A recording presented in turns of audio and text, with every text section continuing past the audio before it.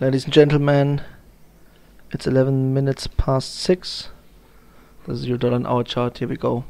The medium term stop. The first one has been taken.